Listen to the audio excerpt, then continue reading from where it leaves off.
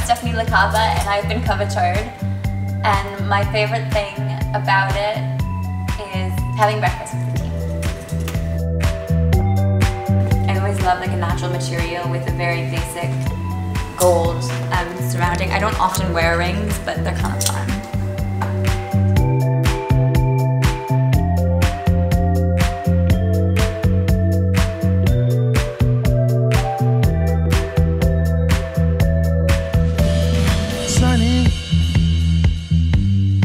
Yesterday my life was filled with rain, sunny